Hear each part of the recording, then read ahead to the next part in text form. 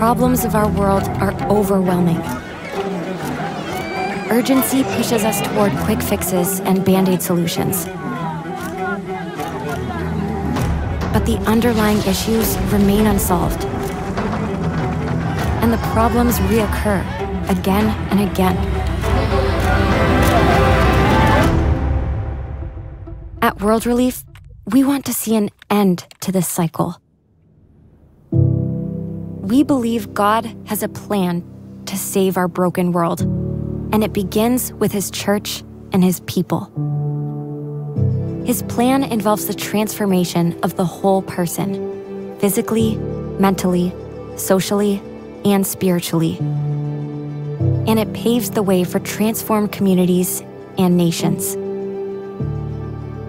For over 75 years, across 100 countries, World Relief has joined God in his plan to transform our world. Building upon the resources of local churches to address the root causes of suffering and meet their community's unique needs. And with the help of people like you, we're tackling our world's greatest problems and helping communities create lasting change from within. In communities suffering from extreme poverty, we equip local pastors to train community members with lessons in savings, agriculture, health and nutrition, and child development, allowing hope to take root and the chains of poverty to be broken. In the wake of natural disasters, we deliver emergency relief and build resiliency so we can save lives before, during, and after disaster strikes. When refugees, immigrants, and displaced people flee persecution, poverty, or violence, we provide immediate assistance and help them restart their lives by building welcoming communities here in the U.S. We educate churches and communities on issues of immigration and asylum and advocate for fair policies for our vulnerable neighbors. And in communities plagued by violence and oppression across the globe, we empower local churches to lead the way in bringing peace, healing, and restoration for all people. We are a movement of over 6,000 churches, 95,000 volunteers, and millions of individuals in the U.S. and around the globe, living out God's plan to bring hope, compassion, and transformation to our world. Together, we're creating change that lasts. Today, tomorrow, and for generations to come. Will you join us? Hi, I'm Charles Galda, President of Vision New England, and your host for the Church in Action program, where we talk with New England leaders about the imperative to make disciples, do justice, foster unity, and share Jesus to transform New England. This week, I'm talking with Patty MacDonald from World Relief, and that clip you just heard uh, is an overview of what World Relief does around the world. Uh, Patty's the Northeast Director of Strategic Partnerships at World Relief. She lives right here in New England, uh, but World Relief, as you heard, is a global ministry uh, working here in the US, but around the world, including places like Ukraine and Afghanistan. And we'll touch on those as we go today. Patty, thanks so much for being with us. It's great to be here. Patty, now I was going to say, hey, for folks who don't know World Relief, can you give us a quick overview? But I think we just did that. yeah, yeah. So, but let me come in a slightly different way, though. The um, you know we've been doing this project that we call the Post-Pandemic Church Project, where um, we've really focused in on a broad, a biblical definition of justice that's fairly broad uh, about all of the things that are wrong in the world, really. And we live in a target rich environment. And so, how do you think about the work World Relief does? Uh, and how does that intersect with doing justice from your perspective? Yeah. Um, well, just to start off with a clear and clean like mission statement for World Relief would be to empower the church, the church, to serve the most vulnerable for lasting change. And that is a justice issue, of course. Um, it really it really speaks to, um, yeah, how, how if Jesus was here, the thing that Jesus cared about most was the least of these. Mm. So how does that really flesh out as Christ followers? Um, I I take it as um, very much a Micah, you know, six eight to act justly, uh, to love mercy, and to walk humbly with your God. And I think um, giving a voice, giving a voice of those um, in in desperate need, whether that is that refugee, that person fleeing their home at no notice, uh, whether that's the extreme poor, whether that's women and children, who 85% of all the work that we do really uh, focuses on helping to benefit uh, women and children. And, you know, in times of disaster, in times of conflict, you know, we, we know that the extreme poor and the most vulnerable suffer that much more.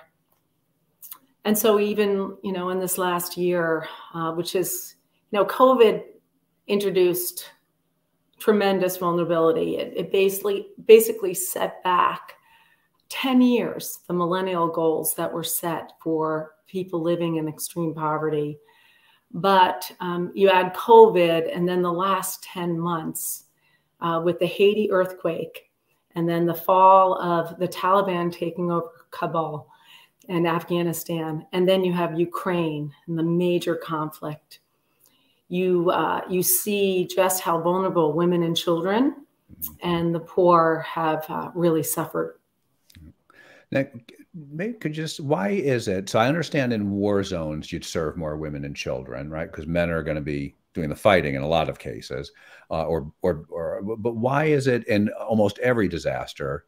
Is it more women and children uh, who end up needing world relief or being touched by world relief? Well, um, you know, so so we work in these different areas, focus areas. Okay, so let let's start with uh, mass displacement. Okay, so um, often, you know, people fleeing. So before um, before Ukraine, there were probably about 81 million displaced people in the world. Um, now, with just uh, the the mass displacement, the displacement internally in Ukraine, we, we're, we're over the 90 million mark. Okay. Um, and you saw directly how that influenced women and children because the men were stayed back to fight. But um, I think, in you know, may, maybe in some ways we take granted the protections in our country that um, for for women and children. But um, internationally, um, you know, in, in a lot of the areas. Uh, like I said, we work in extreme, uh, we work with mass displacement. That's one bucket with refugees, people seeking asylum, um, et cetera. But then the other is um, major bucket that we work um, in is with the extreme poor. And we're talking, Charles, uh, people that live on less than two dollars a day, two dollars a day, people in the hardest to reach places uh, that that lack just the essentials, you know, clean water and and just basic needs, education, health. And um, in this area, specifically, World Relief um, comes alongside the local church to uh, make the local church the hero by training and equipping pastors and, and volunteers and in these areas of extreme poverty, often, you know, the, these women are women and children are very vulnerable because you you've got belief systems of of uh, let's say men having several wives you know in in that culture and that's accepted or women who are not able to have any kind of credit. And so um, you know women and children that live in areas of violence and oppression. I mean, I that's another major area we work in. But you know, I visited the Congo. You know, the, the Congo, DRC Congo is the rape capital of the world. Um, 60% of all women in the Congo have been assaulted. And uh, not only once, but multiple times. And when they're assaulted and they go, they try to go back to the community, they get rejected and excommunicated. So what do these what do these women do? Where do they go? And so World Relief is is very unique in um, coming alongside uh, women who um, have experienced this level of violence and oppression. Um, and let's say with sexual gender based violence, uh, like I discussed, um, World Relief trains and equips the local church and the local community so that when a woman does try to integrate back with her family, if her family rejects her, if her husband rejects her, then that support group will help with the trauma and help um, bring like income generating skills to that woman so that woman can survive. I mm-hmm. mean, we are really talking about like very um, desperate situations where we believe that the, the local church it's why we work through the local church. It's why we work with the infrastructure of the local church because we believe that the local church is, is God's answer to come alongside the most vulnerable. Culturally, some of the examples you're using sound to me very much like what we expect in biblical times of, you know, a woman without a husband, father, right, is very much at risk and exposed and it, yeah. and can be rejected by her family, right? Even if it's not something she's done, but's been done to her. But Right? Yeah. It sounds like a lot of the same dynamics. Is that a fair assessment?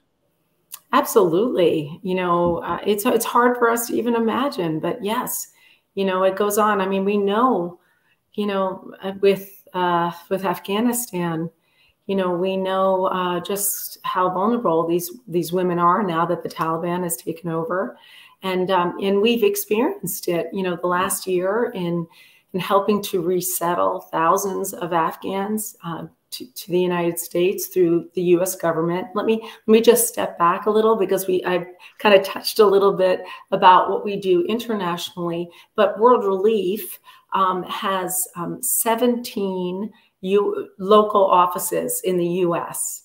And, and it's those offices that we um, help to resettle uh, refugees and come alongside um, with immigration, um, legal services, and helping with uh, just essential vital needs and services.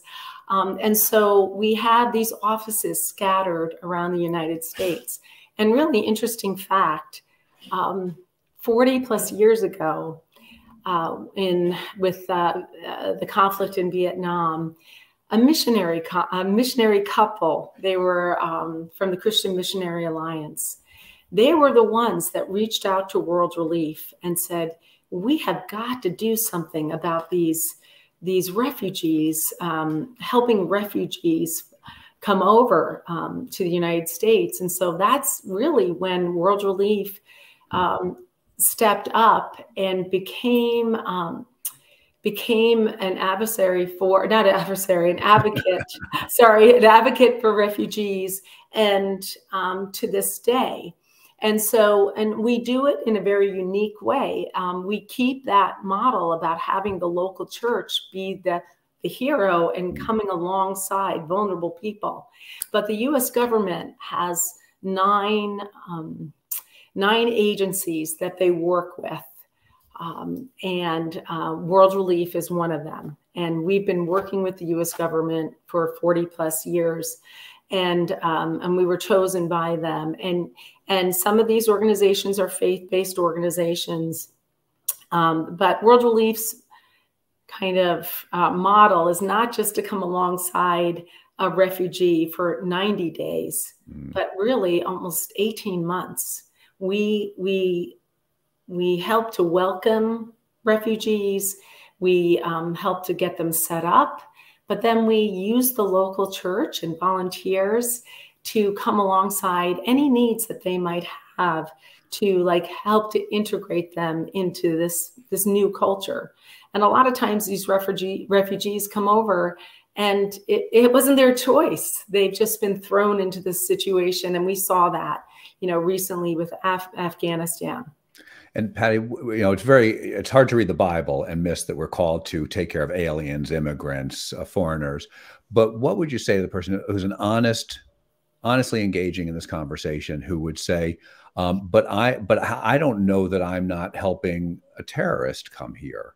Uh, or right, uh, what does World Relief do something with that, or does the government? How do how do you know that who you're bringing here is safe?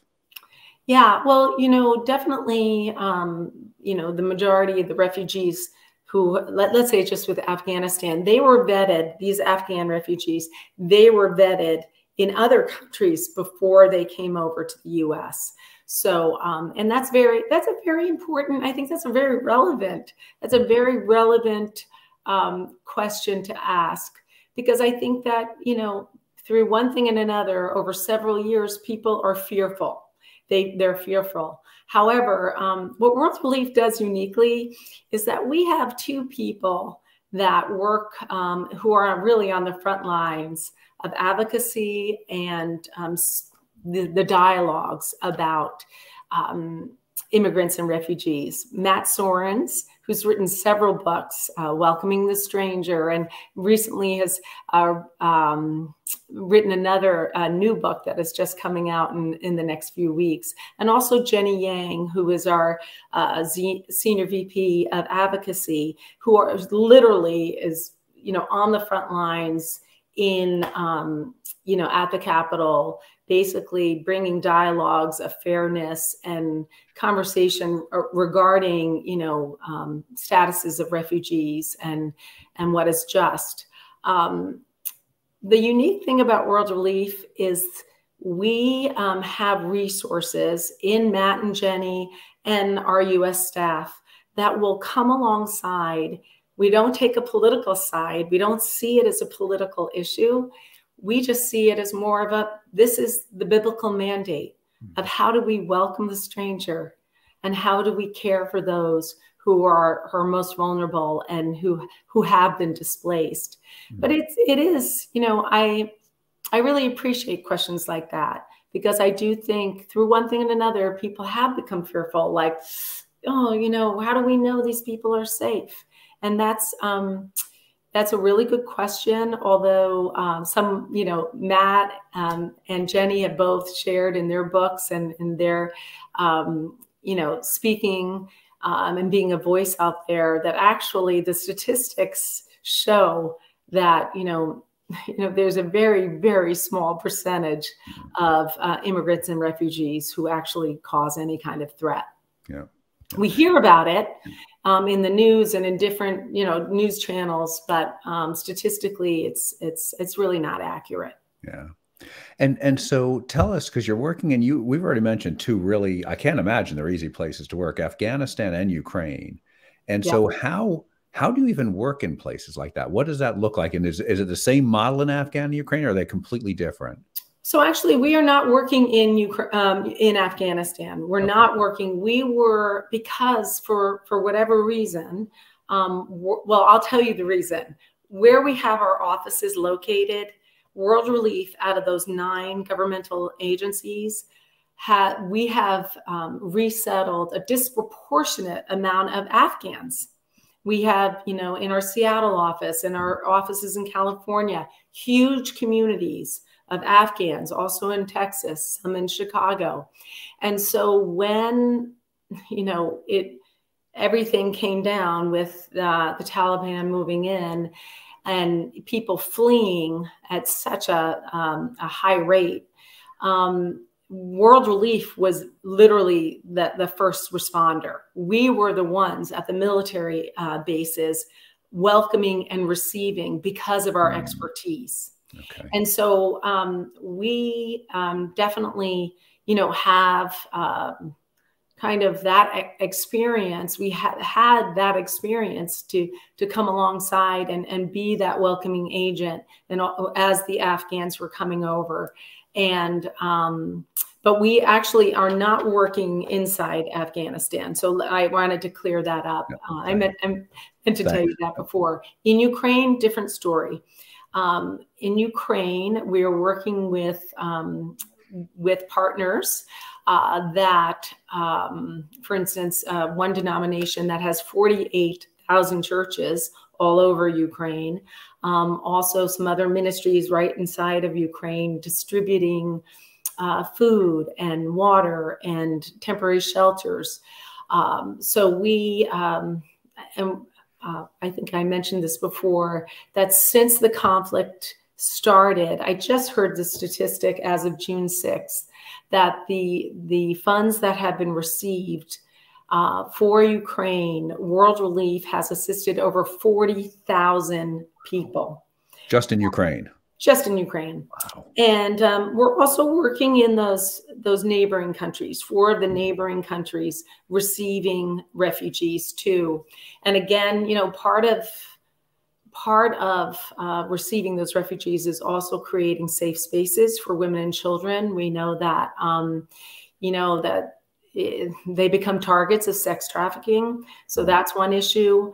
Uh, but we, again, providing shelter, providing um, food, water, and also transportation uh, for these refugees coming over. So it's been it's been very uh, significant. And for and, folks who, oops, sorry, go ahead. And I, and unfortunately, um, yeah, we know, unfortunately, it's going to continue, but we just have to pray for the end of this conflict. Yeah, it's, uh, last number I saw was 10 million displaced people just in Ukraine since the war started. Yeah, yeah, I, yeah, I think there were over 4 million people who were displaced and it started crossing over the borders, but inside Ukraine, a good 8, 8 million plus. Mm-hmm. So altogether, we're talking 12 yeah. like more like twelve yeah. million. So it's just it's so heartbreaking. Um, it's so heartbreaking. And you know, Biden made that announcement um, a couple of months ago. I, I, remember it distinctly because I was invited uh, by some churches in Boston to speak at a Pray for Ukraine event uh, at a congregation in Brookline that was um, had a high concentration of Ukrainians. And uh, at that that day, um, so many of the women and like family members came up to me and said, "You know, we've got to, um, you know, we've we've got to make room to have these Ukrainians come over to the United hmm. States." And um, and you know, just asking for prayer about that. And and I prayed with several people that day. Um, and then the very next day, Biden made that announcement that 100,000 um, Ukrainian refugees will be coming to the United States. Um, the details around that are a little different, though. Um, they'll be coming over in the next two years, about 100,000. Um, and the and the main effort really is family reunification.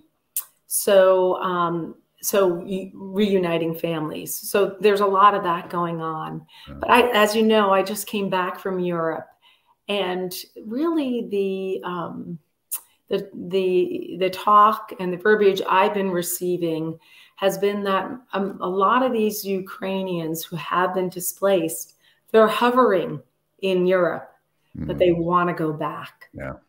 So they really want to go back the other issue, uh, Charles, that really, um, this whole issue of displacement, it has been interesting, and I'm sure you've heard this, but the average displaced person spends about 17 years in an internally displaced camp, yeah. person camp.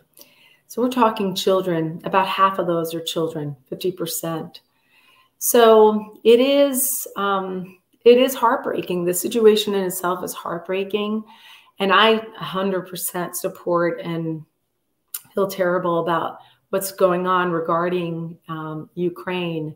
But it does uh, strike a tender note in my heart to think of those children who have been waiting in line mm. for you know several years, or those individuals, these families, on an average of 17 years.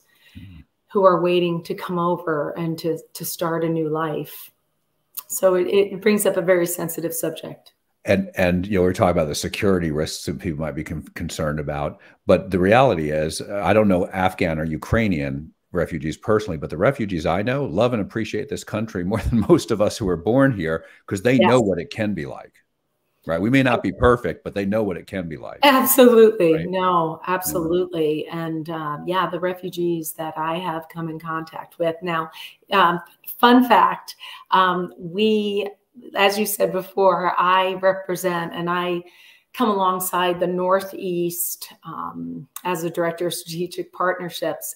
And we've never, that, that starts in New Jersey, all of New York, and then the New England states but we haven't had um, a, a U.S. office for several years. I mean, actually, it started in Nyack, New York, but it is very expensive um, to help to resettle refugees in in New England. It, it just is. Yeah. Uh, but we did this last July, um, before we even knew about what was going on with Afghanistan. Uh, we opened up an office in Rochester New York. And, and Rochester um, helps to resettle 1% of all the refugees that come into the United States. And so, uh, so we do now have some representation in New, New, England, New York, in Rochester, New York, and uh, we have, you know, since last December, we've resettled several um, Afghan refugees, and now we're getting other refugees from the Congo and different places. So and I did want to mention uh, when we were talking about Ukraine, we're you, if you go to our Facebook page uh, and look for this uh, conversation, you'll find an update video also from World Relief about you can see firsthand what's going on in Ukraine. And yes. so, so Patty, a couple minutes left. Um, so I, I think what so if I'm a pastor, church layperson, what have you, and I'm hearing this and I'm feeling called and convicted, what do I do? And what does it look like to get involved with World Relief to do this? Because you talked about working through the church and supporting the church. What does that look like?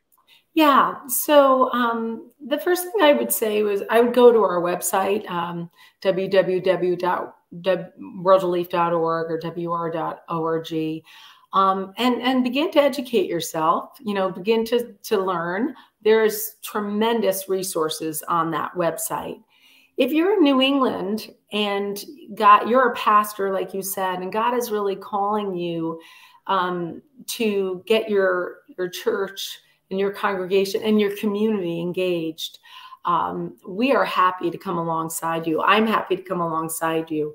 Um, and so I would say, you know, people can reach out um, to you, or they can they can reach out to me via email at uh, p at wr.org. Um, I would say that, you know, it for many churches, this whole let, us just talk about working with refugees and becoming educated on immigration and asylum seekers. Um, we know that this has been um, somewhat of a you know a volatile subject, and so I think the best way is to get everybody on the same page like you know uh, read uh, one of Matt Soerens' books and Jenny Yang's books on welcoming the stranger. If you want um, resources, reach out to me because, you know, I have several um, recordings of town town halls and Matt Soerens speaking on what is a biblical a mandate to come alongside and serve refugees. Um, and so if, if you're interested in those subjects, either reach out to me, start with the website and begin to investigate and, and just continue to ask the Lord, you know, how he is leading you and your people.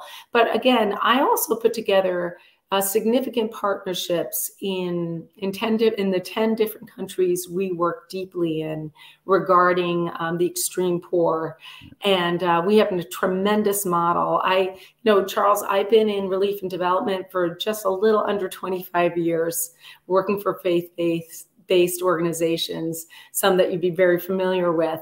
And um, I would just tell you that I believe out of all the various different wonderful organizations out there, World Relief having the model of keeping the local church um, as the, the hero, basically, mm-hmm. and, and, working through the local church um, is a model that is really distinguished and um, is really for lasting change. It's sustainable. So, if you want to speak to me about that, um, I'd love to share with you about that also. And some of the largest churches in New England, and, and know a church that you are very involved with in Connecticut um, you know, have partnerships, significant partnerships with World Relief. So I'm I'm really happy to come alongside you um, in kind of walking you along. What would that look like to have a three year or more partnership with World Relief in a country that um, not only um, values the local church, but we also work in Sudan and Cambodia, where it's minority church,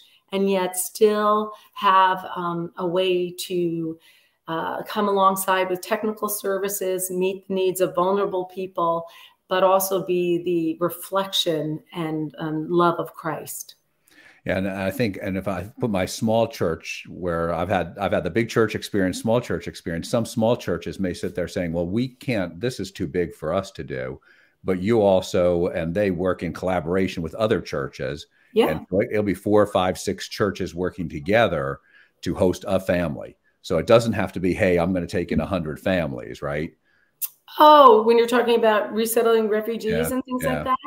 Yeah. So, um, yeah, we saw that. Um, I came alongside Park Street Church when they were, um, I was on their council when they decided to help to resettle 40 plus Afghan uh, coming in, but they used uh, other churches and we yeah we were able to pull together um, a network. We were pull, we were able to pull together and offer um, yeah free uh, services and videos on how to resettle refugees how to build friendships with uh, you know people of different faiths and how to be a welcoming community. So yeah yeah. So if you're a smaller church definitely the there's a place for you with world relief Patty, thank you so much for the work you do, but thank you for being here too. And thank you for what World Relief does.